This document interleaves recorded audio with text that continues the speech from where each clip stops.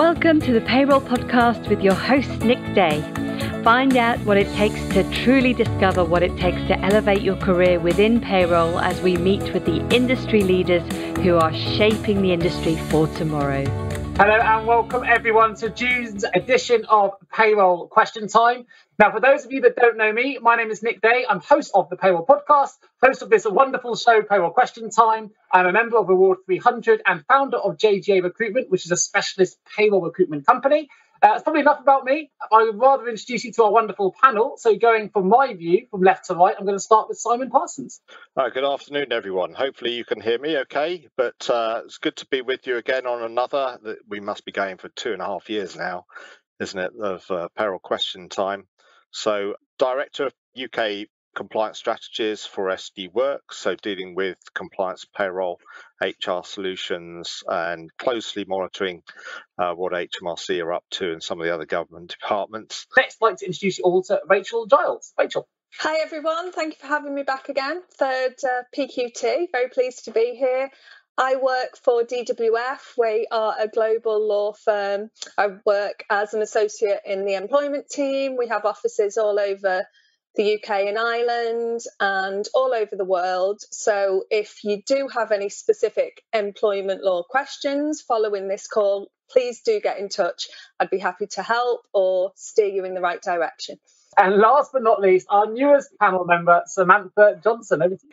Hello, everyone. So, yeah, so I'm Sam Johnson, Payroll Services Director at Dains Accountants. Previously, as Nick said, worked for the CIPP as the policy lead. So, started to get involved in sort of webinars and, and events a little bit like this. So, couldn't resist Nick's invitation when he invited me to be part of the panel. So, for now, let's jump into today's discussion areas. Uh, we're going to start today with the NI thresholds changes. We're going to move over to the holiday pay pitfalls and some things to really think about here. So do keep your notes and the handbooks and things ready. Cost of living and wage inflation and some hot topics to get through as well. So let's jump into our first subject for today, which is going to be talking about NI threshold changes.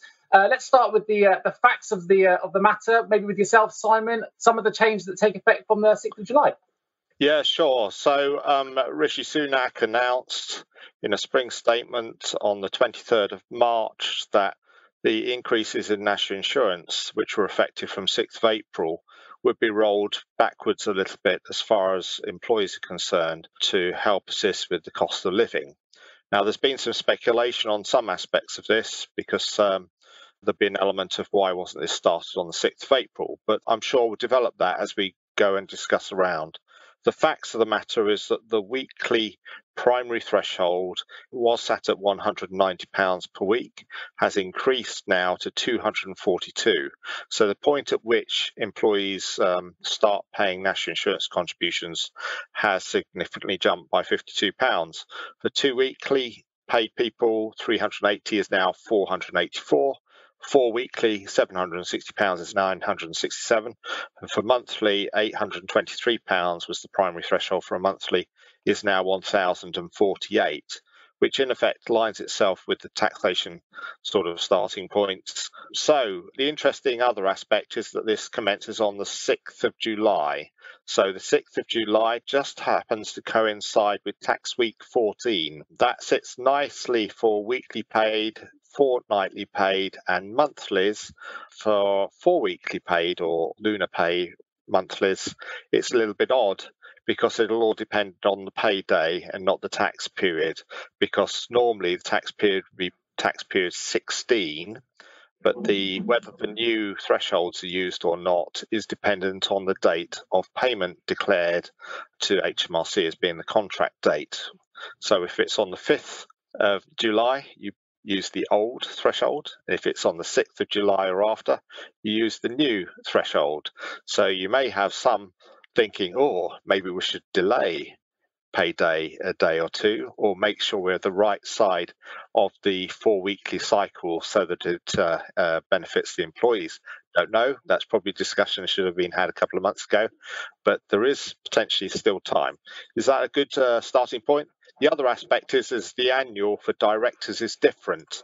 So the annual for employees is based on 12,570, but they'll have a period of, because they're not paid annually generally, they're paid in bits. For a director, the annual is 11908, so 11,908 pounds no matter when. Again, before the 6th of July, a director will be calculated on the old basis of £9,880, but from the 6th of July onwards, it'll be recalculated back to April at 11,908.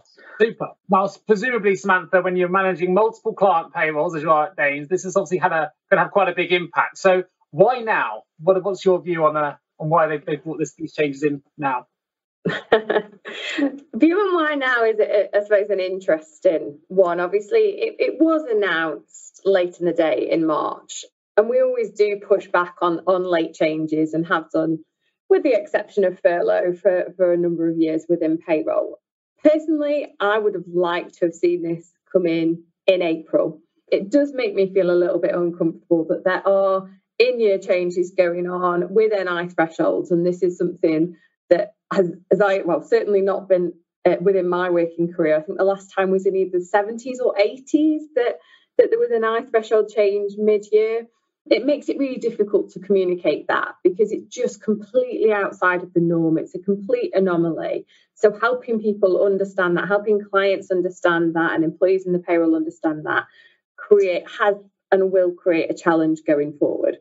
I suppose the exception to that is that it's it's a nicer challenge to have because what's happening is they're seeing an increase in their net pay. So unlike the impact that it had in April when the NI rates went up, this will have, have the opposite, where people are less inclined to call the payroll teams when they see the increase in net pay. And I have also seen a lot of LinkedIn posts recently about the new HMRC gov.uk calculator, which shows you if you're better off or worse off with the new rates, uh, new thresholds, and the new rates combined in this tax year. So why now? Like I say, my personal viewpoint, wish it was April, but at least it's the nicer argument to have they've got more money and not less. Absolutely, especially with the cost of living, which we'll get to for everybody going up. But I'm, going to come back to Simon because I saw a smirk come across his face when he said 70s or 80s, and I suspect Simon knows the exact year this last happened. But I'm going to come back to you, Simon, and put you on the spot here. Was that why you had a dry smile? Well, yeah, I was thinking I'm I'm, not that old, am I? Uh, maybe I am. So I, am still looking very young.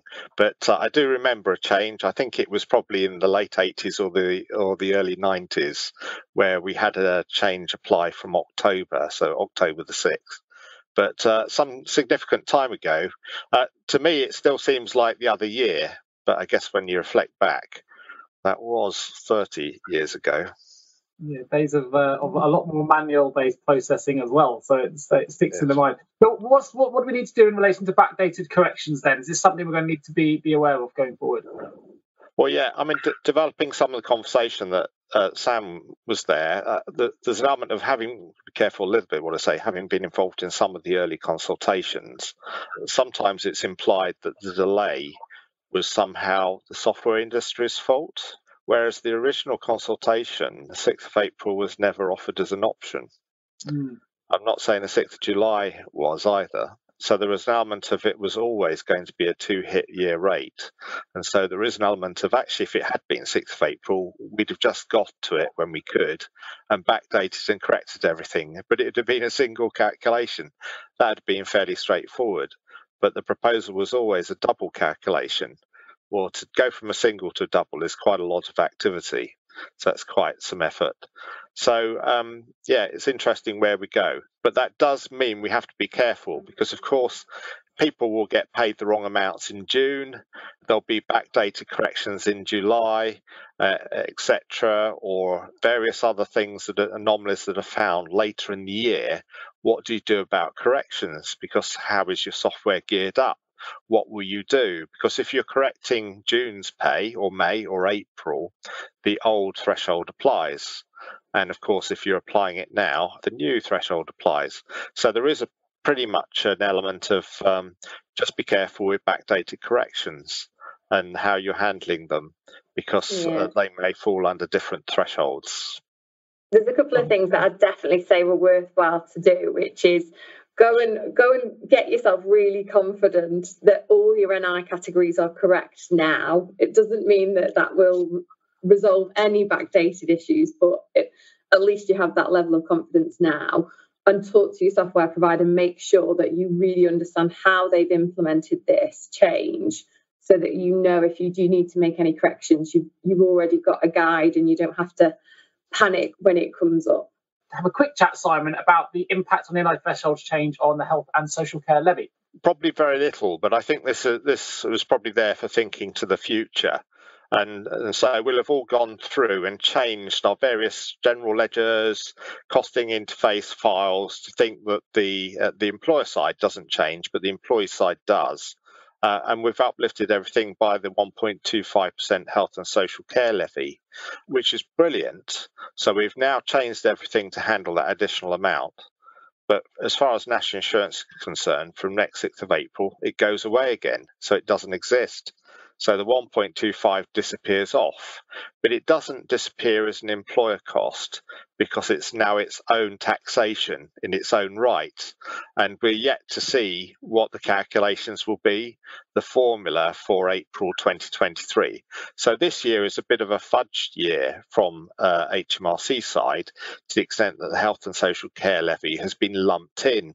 And so we've ended up with the special message on our payslip pretty, pretty please. It's not compulsory. It's not law that you have to, but you're asked if you would produce that message. It's also on the personal tax account, a note.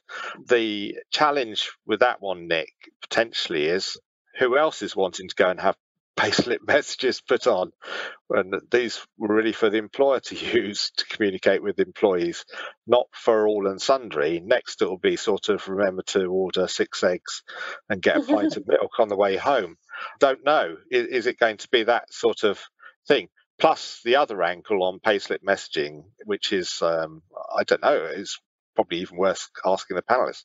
When did you last look at a paper payslip or uh, or that sort of area? All I'd look at is the net pay amount on a app. And assuming that looks okay, I'm quite happy. I don't go around looking for messages, but uh, it seems a bit of an antiquated type uh, means of thinking, oh, why don't you just put it on people's personal tax account? But what will we get next? We'll get Northern Ireland Assembly wanting to put messages, Scottish Parliament, will we? We'll get Welsh Assembly maybe. Um, we'll get the local council. Interesting times ahead. Well, we've got three questions already that have come in. So thank you everyone for being involved. Keep them coming through. I'm going to start the first question for yourself, Samantha. To your first ever question being posed to you on PQT is this. Has the rules uh, of the P45 changed in the last month? Um, so if a new starter starts in June and submitted the P45 in July, should we continue to process the earnings in payroll if they are still on 0T tax code? Or do we wait until the HMRC sends through the RTI and updates the tax code and earnings? Yeah, so this was in the agent update, I believe. Um, well, I think there's something we were going to talk about actually. I think it's on a future slide, but that's fine. Yeah, it was in the agent, agent update from June, and they've confirmed that yes, you no longer need to apply the P45 if it's outside of that initial payment processing period. So if you get it in time for the new starter, absolutely apply it as you normally would. Once you've notified them with that new starter declaration instead, once you've notified HMRC, then you do not need to apply the P45 unless it has a student loan. So it's still worth a look because obviously that little Y in the box still tells us that we need to start those deductions. So you would need to action them. Super. And obviously, stay tuned. In fact, we're going to be covering this in more detail a bit later on in the show as well. Uh, next question is one for you, Simon, comes in from Simon Briggs, and it says, My employer is thinking about implementing annual season ticket loans for employees. Are there any tax or NIC liabilities to be aware of for both EES and ERS? Thanks. And. Principally, no. So um, it's just a standard employer provided loan, and as long as it's under the £10,000 uh, limit, there is no tax and NI implication. Now, there's an element of thinking are you thinking of doing it via other means? So this sounds to me like a traditional season ticket loan. Uh, absolutely no issues with it. The recovery amount is from net pay, so after tax national insurance. So it doesn't reduce anything on a season ticket loan. And equally, it's not treated as uh, a benefit as long as the uh, average balance of the loan doesn't exceed £10,000. Okay, super. Oh, questions coming in thick and fast now, which we like. So, fantastic. Uh, Next question comes from Ian. It says, "I'll over to you, back to you, Sam. Hopefully, it's a, an easy one based on, on the relevant uh, slide here on my threshold." It says, "Can you just confirm if we underpaid an employee in May and are paying them the arrears in July, we would still be okay to use the new NI thresholds for all of their July pay, including the arrears?" Yes, that's your sort of standard NI approach, isn't it? You, it's the pay period in which you're making the payment is the relevant one. So you wouldn't go back and recalculate. What you would do if there was a overpayment, however, is you would go back and recalculate the NI based on the old thresholds if you were correcting for that reason. But for an underpayment, no, it's based on when the payment is due to paid to the employee. And this is where um, contract situations are usually quite useful because you have to take a little care. Because if it's viewed that the money was contractually due in the past, you may have an obligation to recalculate, and that impacts pensions, student loan, attachment of earnings orders, earnings arrestment. But the general principle, which is where Sam's coming from, is that most people will state that any back payment or correction is due at the point it was corrected not historically. So there's an element of uh, importance sometimes on wording, but generally, uh, you know, it's at the point of payment as exactly as Sam says. And last but not least, uh, for you, Simon, as comes in from Kerry, if I need to correct the apprenticeship levy declared in a previous tax year, do I simply submit a revised EPS? And the answer to that is uh, yes, although I'm having a number of reports of the EPS having changed since April. So, for example, if someone forgot to file the EPS, you simply went back and filed it. So you can do that certainly for previous tax years, as far as I'm aware. Um, I have to go and check it again, but you can adjust the EPS for a prior tax year. Sometimes there's an element of, oh, I've missed the May EPS submission and it's now after the 19th of June. Can I submit the EPS? The BPT at the moment is saying no, you can't because you're too late, which is new, didn't used to do that. But you can submit the June or, or the July submission relating to June with the right values and then send a replacement as long as you do it on time. It seems very strange and weird design that the HMRC are applying here, but I think in an attempt to enforce deadlines. We're going to jump into the next uh, slide, which is all about holiday pay pitfalls. And uh, there were a couple of um, things that came into the news around this, which I thought was quite interesting. The Prets, which unfortunately where some of their team members received pay on the Monday rather than the Thursday that week. It's worth reassuring that they did ensure that financial support was offered to any team member who needed it at that time. So I think it was covered and anyone, no one was actually out of pocket in the end. But it was, I think it highlighted a couple of points for us to discuss on today's show, really. So um, let's talk a little bit about, you know, holiday pay pitfalls we need to avoid. Uh, let's start with yourself, Simon. Yeah. Okay, so the the Pret issue was generally with the payment, wasn't it? And so it's a general thing, not necessarily relating to holiday, but caused by the previous bank holidays, to the extent that they meant to pay their staff a day before the Jubilee celebrations occurred. They missed the payment submission time, and so paid them on the Monday after and so that caused a bit of a rumpus uh, around for, for employees, especially if they had commitments. And it's a general principle on where bank holidays and weekends fall, be careful with your pay dates and also be careful with the date you report to HMRC because it can impact employees' entitlement to universal credit and when they see that things are fitting. So sometimes I think we have in our mind it has to be the payday, has to be the payday. But on the F PS, it has it should really be the contractual payday, not the actual payday. Otherwise, employees are impacted quite badly. I guess the other aspect of uh, bank holidays is, uh, well, actually, statutorily wise, there is no right to pay bank holidays. So that becomes a contract matter. I, mean, I thought I'd probably relate a similar challenge some years ago with a Pret Monge concern where a major hospital trust uh, managed to fail their BACS deadline, so everybody was paid a few days late. The uh, payroll manager there at the time, this is, this is going back 20 years, managed to get the pay bill invested on the overnight financial markets. Those days, the rates, which we seem to be returning to, were much higher than they, of course, they historically have been, so you don't get much return and they settled all of the claims of any of the employees who got bank charges as a result of difficulties. Um, at the end of the day, they made a profit. So the bank charge settlement was less than the investment return on the overnight investment markets. Oh, what um, a strategy that is. uh, yes, like I say, that's probably unusual but I guess they would probably anticipate the claims would have been more than they were. But I think some of the banks were very forgiving.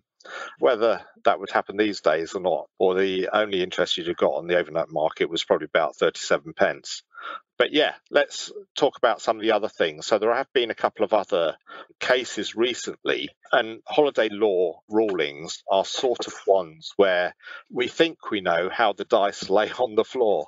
So we've got the score, and then it looks like a judge or, or some panel has picked them up and just rethrown them. And now there are different numbers. I don't know if that's how Rachel feels about this, but the one that's um, uh, sort of brought some angst is the Pimlico plumbers case. Uh, I mean, Pimlico plumbers, uh, to a certain extent, have been a bit naughty and originally were denying any of their employees were entitled to any holiday because, of course, they're all self employed. But uh, former ruling ruled that they weren't self employed and actually they were workers, or if they were self employed, they were workers also, so were entitled to 5.6 paid weeks leave of holiday. And of course, we had some workers that took a case, and in this case, a heating engineer claimed he was owed holiday pay, which counted to some uh, quite significant sum of money. I think it was in the seventy thousand pounds sort of area for a number of years. And Pimlico Plumbers kind of said, "No, no, no, you're out of time." So if we remind ourselves what the backdating requirement is is if you feel you've been underpaid holiday pay as an individual, I have three months to make a claim. If I don't do it within three months, I'm too late. And then if you do make within the three months, it then looks at three month gaps going backwards to find if they link and each of those are underpaid if they're shown to be underpaid. But if there's more than a three month gap, it stops. And that was limited to a two year backlog. Now, the case for Pimlico plumbers is they're trying to claim that that backstop applied to these workers. But I think the, the ruling is tend to go along the line of, but you never gave them any holiday. That's the point in that case as well. It links to King and Sash Windows, which a similar case. So the, the self-employed person was deemed to be a worker, but in King and Sash Windows, he wasn't given the time off and he wasn't paid for it. Whereas in Smith and Pimlico Plumbers, he actually took the time off, but he wasn't paid for it. So that was the difference. However, the Court of Appeal, the Judge Lady Justice Simler in that case, has found that if a worker takes unpaid leave when the employer disputes the right and refuses to pay for the leave, the worker is not exercising the right to paid leave. So it's it's a really really interesting case, and I don't know whether I'm just going to actually read out the most important section in this case. The judgment at paragraph 100. I'm just going to read that out because I think it's very important for everyone on this call to understand. So, a worker can only lose the right to leave at the end of the leave year so this is the point about accruing to the following year.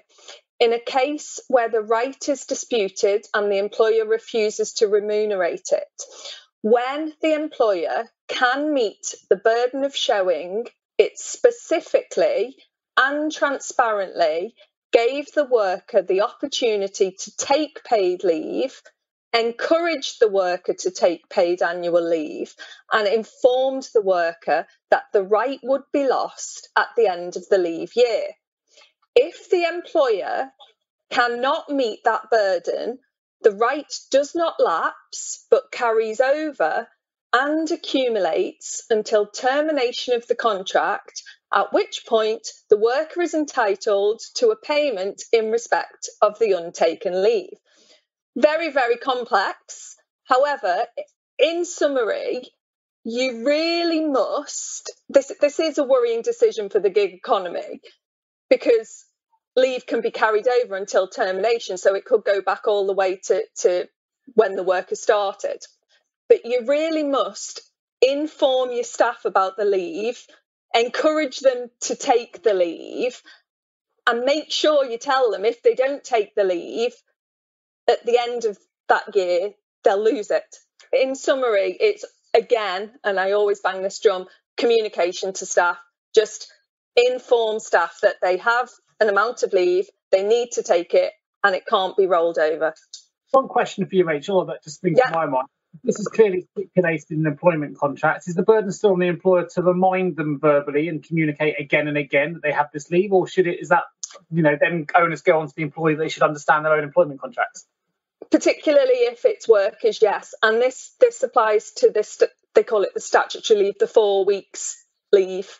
So yes, employers should be encouraging staff to take leave if they want to avoid liability for, for significant holiday back pay claims. Just having in a contract and relying on that isn't necessarily enough. He's, he's been more proactive. I would say so, yeah.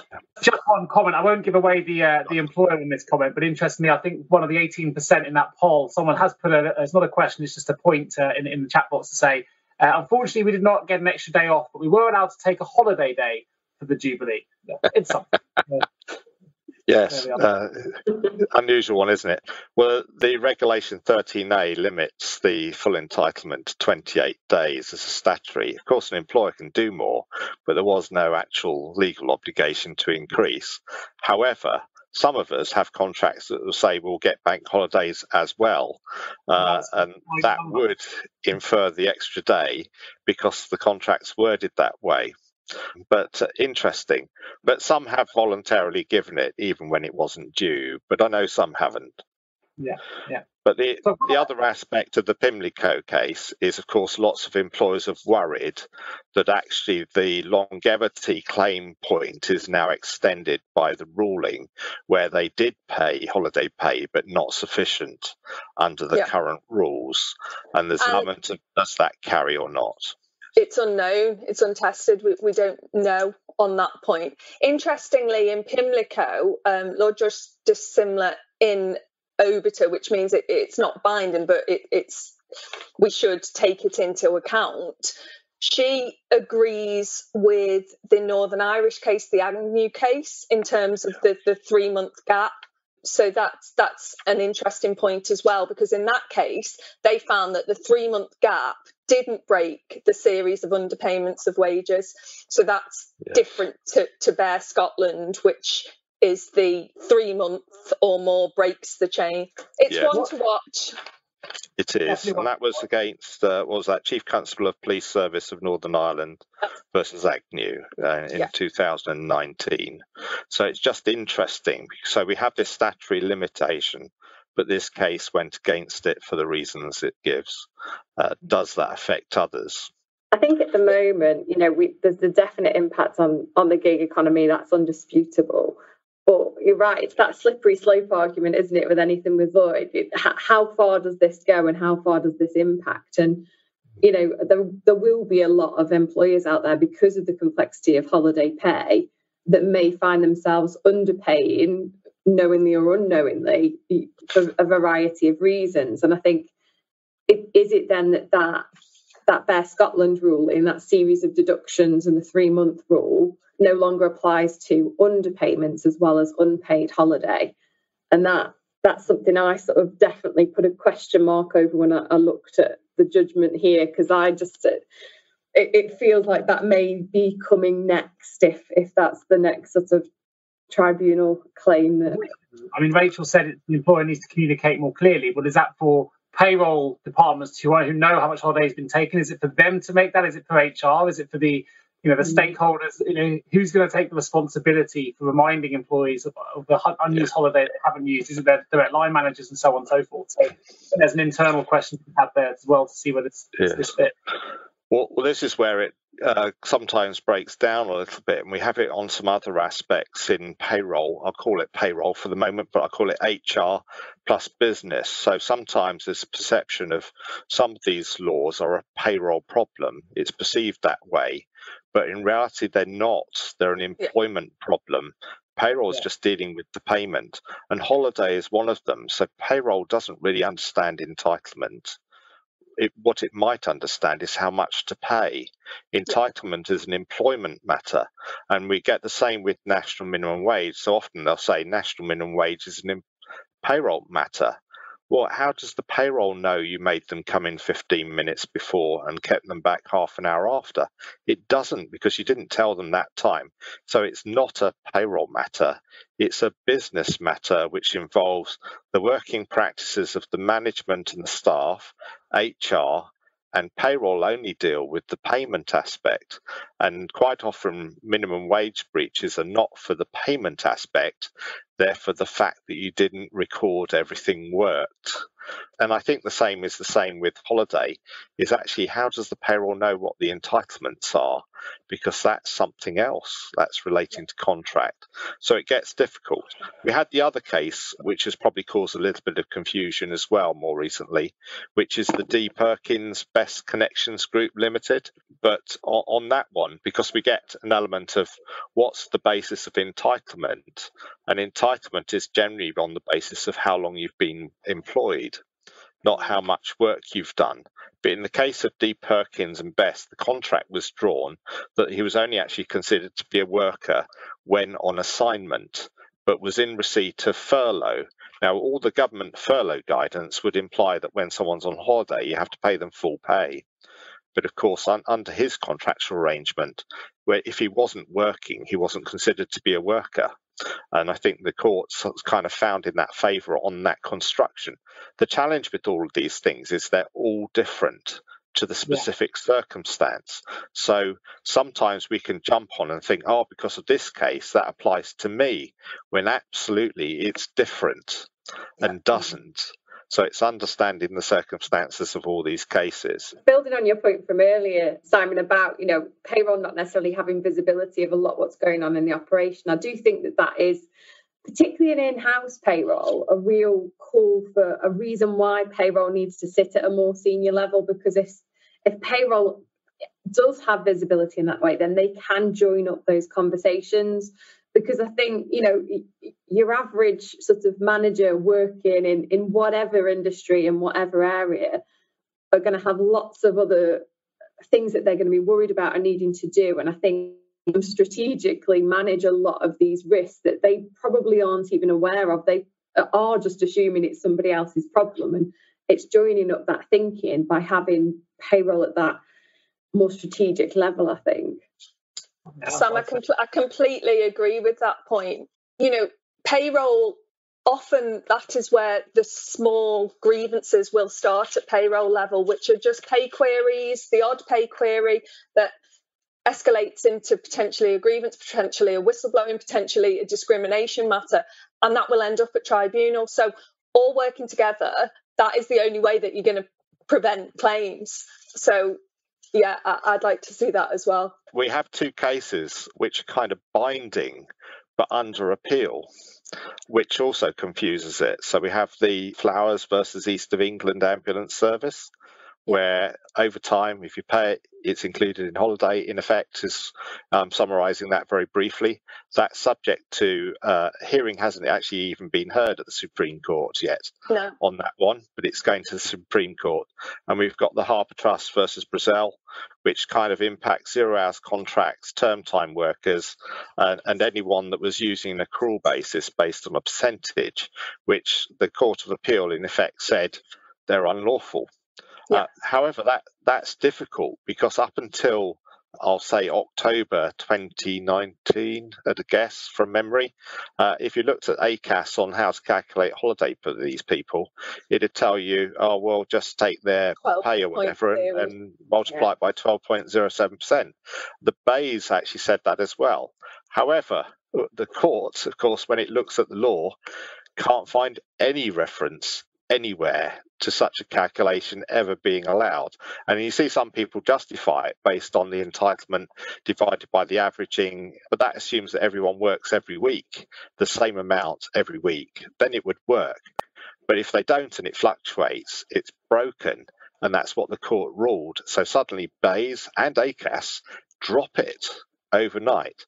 So therefore, you've got this element of, ah, it was always wrong what claims do we face? And then you had the government implement the three month, two year. But then you've got some cases where they're saying that doesn't necessarily always apply. So be careful. So it's become extremely complex. But those two rulings, because they're subject to appeal to the Supreme Court, don't mean you can do what you like, because the previous rulings are actually binding unless the yeah. Supreme Court changes it. Well, the, the Court of Appeal ruling in Brazel, that that's still current law. That was heard at the Supreme Court last November. So we hopefully will have a decision on that shortly. But my advice, it, it's such a complex area. It, if you do think that you may be calculating holiday pay incorrectly, especially if you've got term time workers, we'll call them, then you know seek specific legal advice in terms of, of your liabilities because that they could be high. Yeah. yeah. I'm really interested to see, you know, if we're supposed to have this single enforcement body come in, it's whatever date that will be, I, I don't know, but it's certainly something they're talking about. And and these guys are supposed to be enforcing enforcing the requirements around holiday pay. And I'm really interested to see what that audit looks like because I I can't imagine you know somebody gets paid in June on a monthly basis, they get regular overtime, they go on holiday from the 26th to the 30th of June. How are the single enforcement body going to tell us to include the pay from the prior to the 26th of June, so the 25th of June for the past 52 weeks, take out all the unpaid weeks and all of the other things with the data that sits in systems with the way that we operate. And I really want to know how they're going to tell us to do it, if I'm honest, because it, it's just so difficult. It's well, so I mean, it's difficult. It really, really is difficult, and that's when you've got, you know, very good payroll software in place. Can you imagine what it's going to be like for the smaller employers? I mean, mm. it's going to be difficult, isn't it? well, I just need to come to PQT and we'll give them a hand. You know, we're working through it. exactly. yeah, I'll do that. What's the impact on, on maternity leave? Last bullet point here. Um, I think it's probably worth sure. uh, putting into the foreground. Yeah, well, this one appears regularly in social media and discussion groups. See it all the time. Um, and again, I think it's uh, generally it's in potentially employer confusion. But uh, if they're operating a you can't carry your holiday forward, use it or lose it, which many uh, employers do, including you know my own to a certain extent you, you've got to book your holiday and take it off because you're not carrying it over we're seeing increasingly, or I'm seeing increasingly with the number of queries on the employment law social media groups and the payroll uh, groups of people saying, I want to take my holiday, but my employer's saying I'm too late. I've lost it on returning from maternity. And there's an element of maternity doesn't follow the rule, it carries forward. So there's almost an element of using one law to not do something when another law requires you to. So with maternity, the holiday continues. You don't just lose it; it has to carry on, and uh, and and it's understanding the difficulties there, because potentially, if an employer denies it, you're into maternity discrimination area, which can be expensive. And just another point on that, Simon, not just maternity, other other leave, family leave, shared parental, adoption, etc. I, I, don't want to bring you back to the days of furlough, particularly. I think we've done that to death. But no. I know, and maybe I'm out of sync. I'm not a payroll professional, as you know, Simon. But for those that did accrue while on furlough and are able to to carry over, is that still in play and something we still need to consider, or, or we move past that period now? It is, but I think there's an element of confusion because some people were promised it and are kind of being denied it. So I see that yeah. on social media as well now. So it's kind of, oh, yes, the law permits you to carry it forward. It was by agreement. There was no right to do that. But you could say, oh, don't worry about your holiday. You can carry it forward. But I've seen some employers then going back, well, we didn't really mean it or even some saying, because there's been a couple of questions on some of the social media groups that were associated, where they're saying, can we actually go and pay it as if they had it whilst they're on furlough? But that runs into trouble with other obligations because, of course, if an employer wants someone to take holiday, which they have a right to do, they have to give twice the notice. So, how do you give twice the notice? that you want them to take two weeks holiday in August 2019. Potentially people paying holiday that's been unused anyway. You can't sell holiday under a certain amount and things like that as well. There's a couple other considerations. Uh, sure. But we can probably cover a holiday topic on the cost of living aspect because I understand, mm. you know, we've got cases now where actually people are agreeing uh, to buy back holiday. As I say, just a quick one on the maternity. So just sort of jumping back to that conversation about working together. One of the things that I always found was a bit of an issue with with some of the communications on maternity leave and holiday was this person is returning on the 15th of March. Whereas actually what the the agreement is is she's returning on the 15th of March physically in person, but she's starting her holiday full pay from the 1st of January, for example. So then there's a phone call in January to the payroll team saying, I'm expecting full pay, where is it? And there's there's sometimes a lack of understanding about the end of maternity leave and going on to holiday as part of what you accrued during maternity leave. So that's always one that's that's worth double checking when somebody's coming back before you end up with that query coming through from the individual. Really good point. Really good point. Well, let's jump into the uh, the cost of living. While we're waiting for that slide to come up, we've had one question or a couple of questions come up. We're going to jump into first.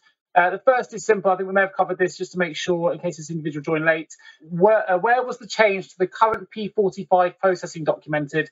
Was it the latest uh, in the latest HMRC update? Yes, it wasn't the latest, so it's not the June. It was the prior one. So in, hmm. in, my head, I have Agent Notice 96. Is it a?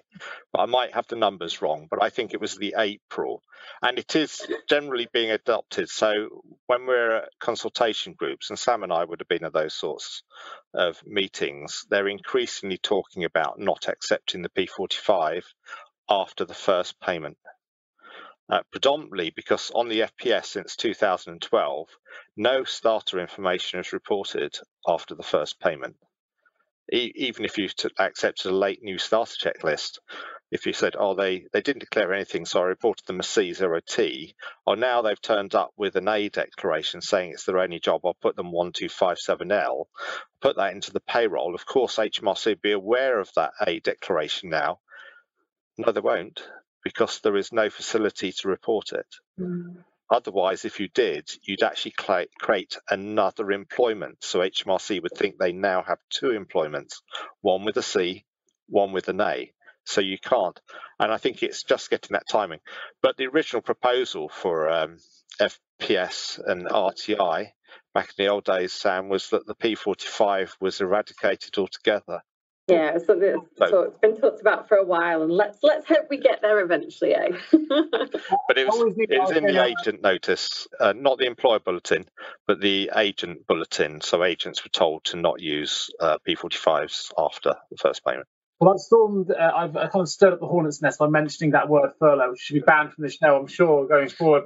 There is a question that relates back to COVID. So I'm going to ask it here, which is coming from Denise. It says, "Can you please remind me during COVID?" I seem to recall the need to request a PAYE settlement agreement annually was removed. Is still is that still the case? I'm not sure that's true, to be honest. I don't think there was any agreement to remove a PAYE settlement agreement.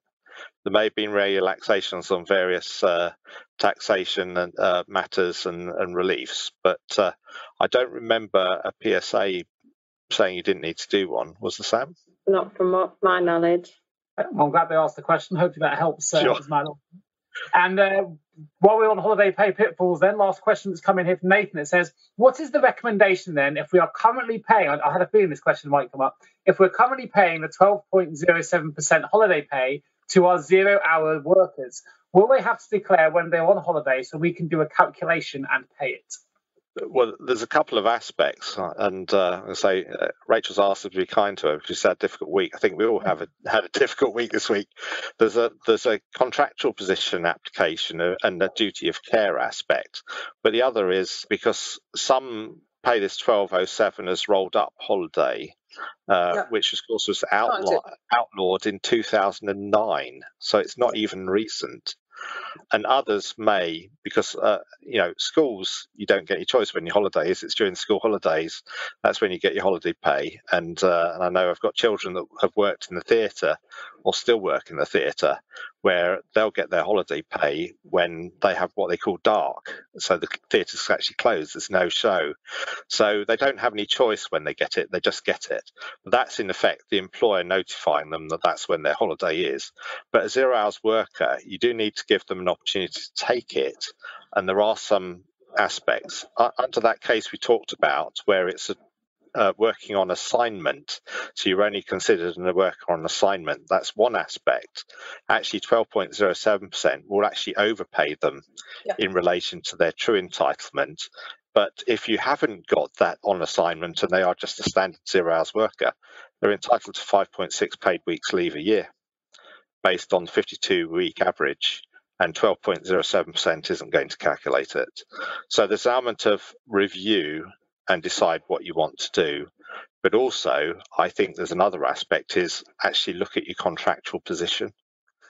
Because look at your contractual position and yeah. review your working practices.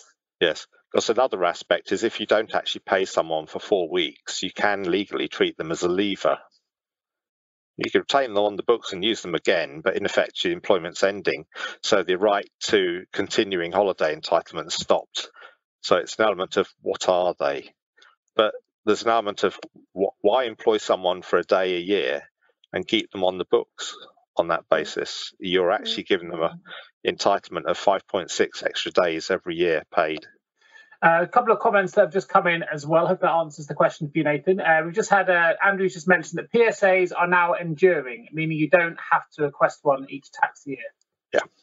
Fantastic. Well, let's move on then to uh, cost of living. We've still got quite a bit to get through. It's amazing how fast uh, time flies. Let's start with bonuses. I'm sure we're going to have a lot of questions here. Thank you, everyone, for putting your questions into the uh, questions box. We'll get through them as we go, so please do keep them coming. Uh, let's kick off uh, then with uh, cost of living and bonuses. We had a good conversation off air about this. So um, perhaps, Sam, you'd like to kick us off? Yeah, definitely. Obviously, I don't think many of us have not heard about this topic for probably a couple of hours. it's all over the news, everywhere that we're looking, everyone's talking about cost of living. One of the things that I know Simon and I would say we've seen a lot of on, on LinkedIn, number of firms, Rolls Royce being one and Socotec being another. There's a few different out there are putting in cost of living bonuses. So paying out various amounts again, I've also seen a select number of staff in some of them. I think Rolls Royce have opted for up to junior management level. I think other companies have done the whole of their workforce. So there's been different approaches to help people and employees with the cost of living increase. But I know one of the questions that's come out of that then for those individuals claiming universal credit is well, what is the impact? I think at this point I'll probably hand over to Simon because I know Simon will know this a lot more than, than I do. Yeah, sure. So, so yes, we've seen it. One thousand, two thousand pound bonuses being paid off for cost of living. What does that impact? If the employees are the universal credit claimant, it will impact their entitlements. So there's an element of sometimes we have to think what it is. They will be better off, but they won't be one thousand or two thousand pounds better off. They may only be four hundred and fifty pounds better off and then you've got the tax on the uh, etc. Because for every well, actually, it's the net pay amount, isn't it? So it's probably not that bad. But for the net, for every pound of net pay above the wage earnings allowance that you have for a universal credit claimant, they'll use lose 55 pence of their benefit. So it's just to make sure that you, we realise that they won't have the benefit of all of the net amount from that 1,000 or 2,000, they'll only have 45%. And previously, it would have been less. So it would have used to have only been 35% because it would have lost 65p. I'm saying that from memory from their benefit. So they are better off, but probably not quite in the way that we think. Mm. Perfect. And we've got a, a, a point here that talks about fuel. This is always a an interesting subject. People want to know if the government ultimately will increase the mileage allowance with the, the cost of fuel going up exponentially as it seems to be. I know it's something we've covered on a previous PQT as well, but let's, I wonder if we can have a quick chat about fuel and linking that to expenses as well and, and, and perhaps what we're expecting to see in the future. Yeah, it's one we're regularly seeing, and we're seeing that a lot. They're putting a case to their employer that they need an increased amount. I think there's an element of uh, increased amount to what and what are we talking about? And it's something we've discussed a couple of times, isn't it, Nick? I mean, I operate my own cars. I don't have a company car, but uh, for, for, the reason that the taxation is extortionate. Plus, I could get tax relief for my business mileage at 45 pence for the first 10,000 miles and 25 pence thereafter. And so that was quite a significant sum some years ago, and it's whittling away. It's not shrunk, but I think there's an expectation of that sort of take home pay aspect that's gone. But uh, maybe HMRC's intention was that you didn't have that take home aspect in the first place. And I think that's where they'd argue that actually the rates had been over generous and they haven't reached a point of people making a loss, we're probably just not making the tax saving we used to in comparison. It's an interesting one, isn't it? Because it's sort of one of those where previously I've always heard it, well, that's the wear and tear on my car. The extra payment deals for the wear and tear on my car. And now, when you look at the cost of cars, you know, second-hand cars have gone it through the roof. New cars are almost impossible to get hold of because there's chip shortage. And, and I think by narrowing that gap and increasing the price of actually the vehicles that we use to get around in the first place, I do think there'll be a growing argument to, to look to move that at least a little bit if this increase continues. Yeah. And I believe it is it not until 2024 that they're talking about then we'll start to see a decrease in inflation rates. I'm so, sure I saw something like that on the news. Is then the government counter argument for you, Sam, only because we covered this in the previous PQT, which is quite interesting. And you can find some of these calculations if you go to thisismoney.co.uk. We'll do an interesting uh, article on this subject area. Now, interestingly, when this article was released, uh, the price of petrol had gone up to 151 per litre. I know we're well in excess of that now, but quite, this is when it came out when people were starting just to say, will prices be going up? And they were saying then, you know, uh, based on what we're getting back at the minute, is it covering its and how much does it need to go until you're, until you're worse off?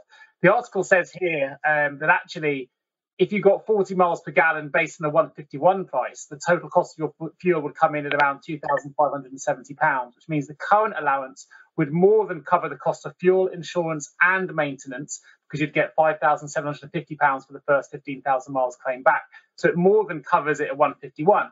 It then goes on to say if you were to calculate it to work to work out what it needs to go to, it says petrol prices would need to reach £3.50 per litre for your car mileage allowance to leave you in the red. And that relates to private cars, doesn't it? And then there's a calculator for company cars, and you could say, how's that coming along? Well, the rates were revised on the 1st of June, but if you look at the comparative value that they were using, uh, the petrol prices, etc., are about £1.70 odd. So there could be that they're not £1.70 odd now. So that's changed rapidly. But the next review point is not due until the 1st of September. Now, there may be an element of thinking should the government now start moving to a more rapid review because the company car driver may feel they're subsidising the company. I think also there's um, to bring in Samantha's point and also um, yours earlier, Simon. There's an area here that says whether or not it covers it or not, we get used to our own ways of living, right? And the cost of yes. fuel prices, we're still getting the same back in expenses, but it's costing us more. And therefore, we're feeling it in the pocket, whether or not it's more, you know, yeah. it, it's completely Um, and therefore, I think employers do need to consider that, that if, you know, it's an employment decision here to say, well, if the mileage rates aren't going to change, maybe we need to look at your total remuneration to see where we can make sure you're not worse off. So I think there's an employer obligation here to to think about it, particularly as you mentioned, Sam, if, if not looking at the you know inflation coming down for yeah. years. I think it's really from my personal opinion is that employers need to be aware of how much is hitting people in the pocket to know what people what things can do. Yeah. And there's a trend in the US, Nick, of uh, employers starting to pick up the driving expenses of their employees.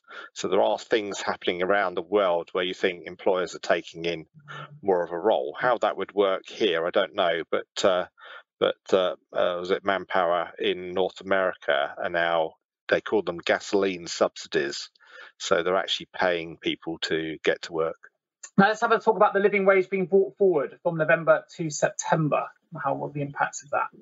The real living wage is announced in November normally. So it was announced in November 2021, and that has to be put in place for those people who are accredited real living wage employers by, I think it was May. Uh, so that deadline's only just gone at the very latest. What they've said now is because of the cost of living, they will be bringing forward the announcement of the new rate of pay, and that's going to be brought forward to September. So obviously, we don't know what that will be yet, but I envisage with the, the calculation that they will apply, it will be quite a significant increase. And also thinking about um, minimum wage and national minimum wage, that's a significant gap now between the April increase that we're going to have as, as a statutory position and the September announcement that will come for those employers who are doing it voluntarily. I don't know if that will mean it will bring forward their um, normal implementation date because they do give employers time to implement that value. So we'll have to see what comes out of the September announcement when it when it comes to that. But certainly one that will have a big impact on payroll teams that are accredited minimum wage employers, real living wage employers. But there's an increasing number of uh, employers that are signing up. So uh, before the pandemic, even the numbers of employers committed to paying living wage was around 5,000. The current numbers committed to paying living wage during pandemic and coming out is 10,000. So it's actually doubled, uh, which is interesting. But whether this two months brought forward will be a bit of a shock to them, I don't know. They have six months. So if they do apply it, the rise has to be implemented from the announcement uh, up to the latest March, but we don't know what date in September. They haven't announced the date in mm. September. They just said it be announced in September. It's usually the first weekend, isn't it? They tend to make the announcements. It's interesting, isn't it, that increase in employers? And I think a lot of that will probably link to all the discussions that we were having throughout the pandemic around well-being, around work-life balance, and, and ultimately part of that reward structure is then employers offering a great level of, of reward and attracting employees into the business. And now with this cost of living crisis, hopefully we won't start to see that number go down. We'll continue to see that number increase, but ultimately employers have got to weigh up that pressure on them and their costs versus obviously what they pay to their employees as well. Sure. Now, I'm just going to give you a few things that I found online that may be helpful for businesses that can support their employees. These are things that already exist that you may not be aware of. So if you are a payroll manager, want to go and speak to your HR department or someone else to see if you can get these things implemented, it might be worth your while. The first is you can eat for free. So you can businesses can provide free or subsidized meals to, to employees at your premises as long as the food is provided equally to all employees or all of those working at a particular site. There's no taxable benefit for the workers to do that. Uh, there's a bus to work scheme, so providing free or subsidised transport for employees to get to work can help people who struggle to pay for fuel for their cars, which we talked about the full journey or part of it when employees are collected from a pickup point. The vehicle must be designed to carry at least nine passengers, and the service must be available generally to any of your employees. That's something to think about as well. There are, of course, small loans, so many employers will provide a season ticket loan to help employees pay in, advance for their commuting costs. But interest-free loans up to £10,000 can also be provided for any other reason. The loan must be repayable, and the loan agreement should be drawn up. And last but not least, uh, small gifts. Just as directors can receive tax-free gifts worth up to £50 from their company, so can employees. So buying a school uniform for a worker's child or surprising them with a food hamper on their birthday, they can make a huge difference to, to families and to well-being and other things as well. And the £300 annual cap only applies to directors and their family members, not other employees. So a couple of things there to think about if you weren't familiar already. Um, let's jump in then to hot topics. I'm going to come over to you, Rachel, to kick this off. Just before I do, uh, I've had a bit of clarification on the PSA question that came in earlier said, sorry, perhaps my question was not clear. It was based on the need to renew the agreement annually. Okay. Just for clarity, we do report and pay what is due, but yes, just looked and there is no need to renew annually. So just to clear that. Yeah. Okay. So I know the first bullet point here talks about Jersey businesses, but actually I'm going to ask Rach to kick off with a slightly different element of the hot topic section, which is talking about new government legislation. So hot for press here, everyone, which relates to employment agencies supplying workers for industries that are striking. Yeah, just I guess the bottom point really. So today it has been announced that the government want to introduce legislation which will enable employment agencies, so recruitment agencies, I guess, to supply temporary workers and that'll plug the staffing gap during industrial action. So this will be response to strikes. Um, I know two teaching unions are looking to strike. Obviously, the rail workers, barristers as well. Um, how how easy it will be to supply agency workers, I'm, I'm not sure. The government have as well uh, announced that they want to significantly raise the maximum damages that can be awarded in any action against a union arising out of unlawful industrial action. So the last time that that cap was raised was in 1982. These are significant changes in terms of, of employee relations, and it may be the direction of travel, and it's something interesting to watch, I think. Yeah, no, absolutely. Point well made. And we've got uh, Jersey businesses asked to pay back 10% of their COVID grants. Uh, what if you can tell us a little bit about that, uh, Simon? Well, I do my best, but yeah, and some of them are squealing about it as well, aren't they? Because they're thinking it'll actually close them down. So, Jersey businesses, I'm thinking they received about 200 million uh, of assistance from the Jersey uh, states of Jersey government, from my recollection, and uh, and of course now they're being approached to see would you like to give some of it back, and some of them are saying, with what? And that could devastate them as a business. That's some of the reaction.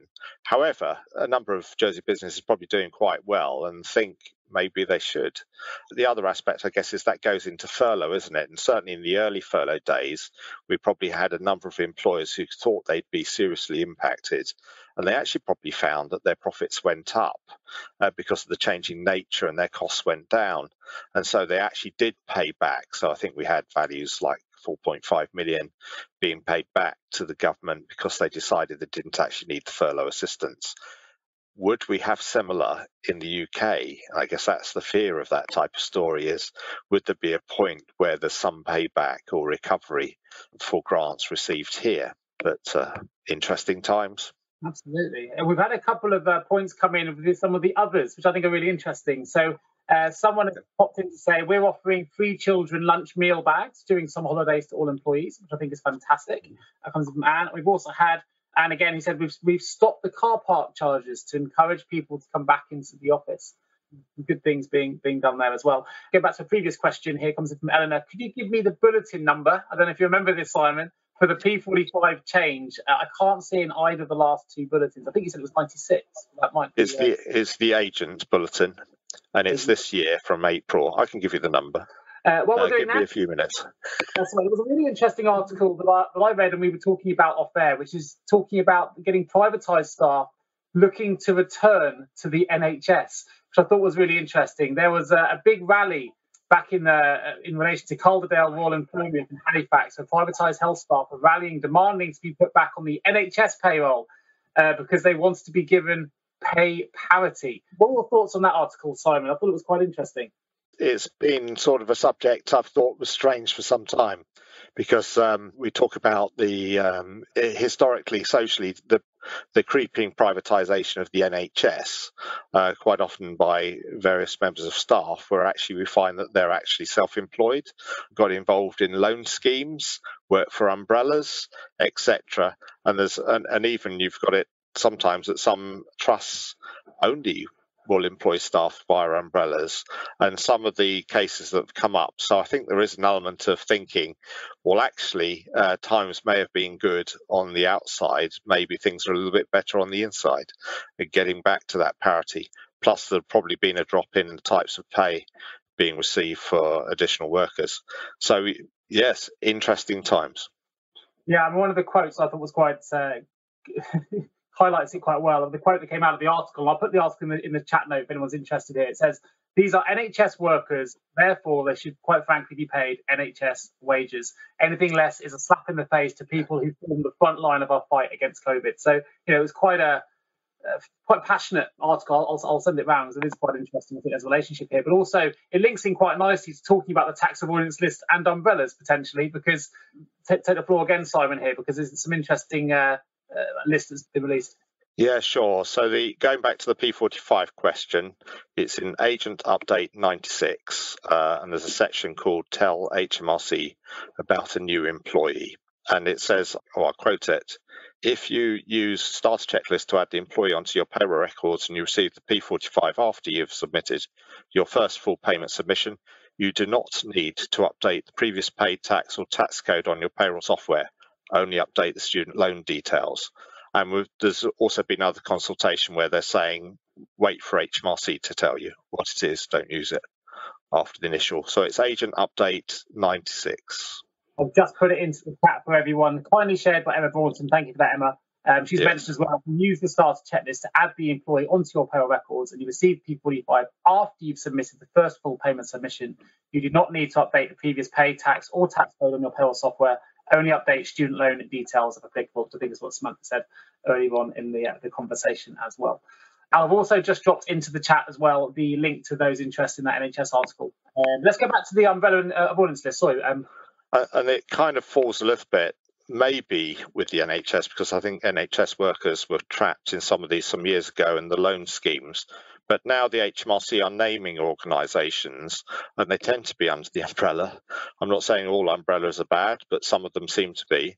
So they had uh, Best Employment Services where the director has been banned. In fact, I think one was sent to prison, who filtered it through an Isle of Man company and then sold off aspects of the assets of a loan to Anguilla, which would never be repaid. But we already know the uh, reason there. And another one is uh, HMRC has named Peak PAYE Limited as a tax avoidance promoter and urges individuals to withdraw from using it. You, you probably find they're still trading but they're saying it doesn't work and you'll end up with a large tax bill. So it's just to let people know that uh, the HMRC are starting to name uh, certain organisations and saying don't get avoid, uh, involved in the avoidance because they don't work and you will end up paying significant amounts of money.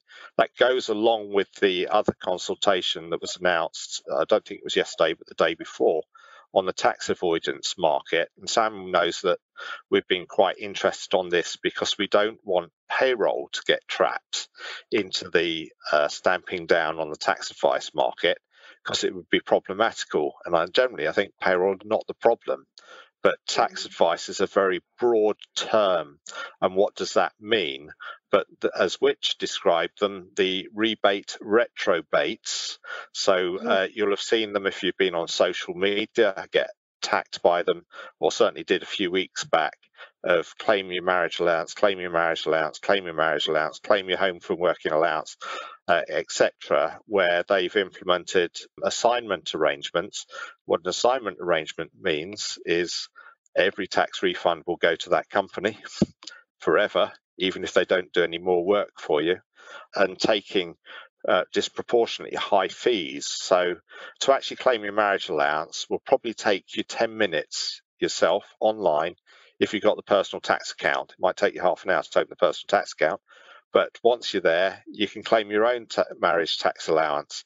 Whereas these companies are uh, being shown to be charging four to five hundred pounds to do it, and it's not clear uh, when you sign up. Mm. So that consultation has just launched on the development of that. But I think there's an element of just be careful. Sometimes there are too good to be true stories out there.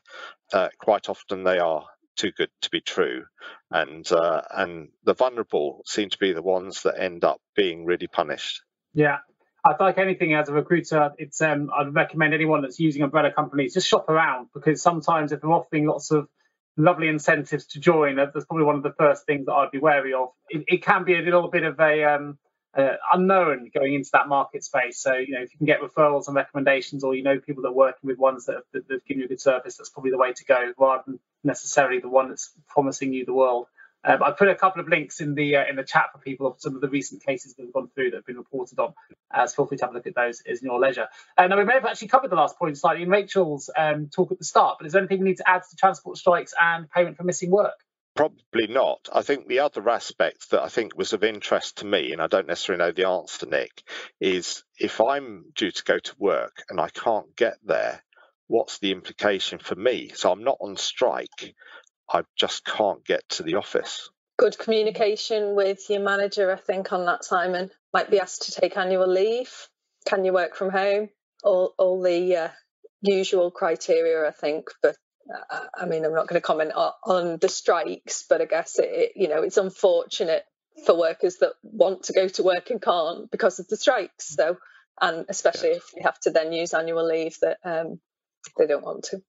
From a payroll point of view, it's capturing that data as well. You know, how do you get visibility? If you've got a time and attendance system in place, it makes it slightly easier sometimes, but not everyone will have that. So having visibility of who is in, who isn't in, the reason for and what the decision's been made about payment or holidays or anything for for that individual it's a difficult one as well because it, it's often things like this that then escalate because one individual had to take annual leave one got paid so uh, a business mm. decision we, we, do have a bit of notice of when the strikes are so i think it needs to be made at, at higher level on what, what the outcome is for you simon if there's a rail strike and you can't get to work Oh, Simon's got an electric car. He's got no excuses. He can get there. yeah, so the roads are all blocked now with all these people that are having to drive. Yes, oh, it's it's interesting. In in the eighties, certainly part of the bank, uh, they'd have emergency contingency plans of coaches. How viable that is these days, I don't know. But in those no. days, I guess a rail strike was not an unusual thing. Yeah. Well, we've got one last point before we close off today's uh, PQT, which comes in from Anne, just saying going back on the NSD or P45, uh, not being on the first FPS, if P45 operated the following month, does this get reported on the next FPS? No, it doesn't. The prior employer values don't get reported on the FPS at all. So it impacts the tax calculation. And I think this is probably one of the reasons they're finding, because lots of employers appear to be getting uh, determination 80 penalties, where the tax liability of the individual is assigned to the employer uh, because they've operated the wrong tax code. And the reason being there is if you read CWG2 on the old version, if you'd received a tax code from the tax office, you wouldn't be allowed to operate the P45 anyway. So all they're really saying now is just don't bother. If they haven't given it to your first payday, then don't bother using it. Apart from the student loan, because it might indicate there of liability there. Cycle to close it off. Sam started with that student loan point. We're going to finish there as well. Thank you everyone for joining us today on PQT. Thank you so much for Sam for her, completing her first PQT with the panel. Uh, thank you, Simon. Thank you, Rachel. We look forward to bringing you the next episode on the 22nd of July. Registration will open soon, so please do sign up for that. But thank you, everyone, and we look forward to bringing you the next uh, PQT on the 22nd of July. Have thank a great you. day. Thanks. Bye, everyone. Bye. Thank you so much for tuning into the Payroll Podcast with Nick Day of JGA Recruitment. If you need help with a current payroll vacancy, then please get in touch with Nick and his team. All contact details can be found in the episode notes. In the meantime, to make sure you never miss a future episode, please subscribe to the show through any of your favourite podcast channels. Till next time.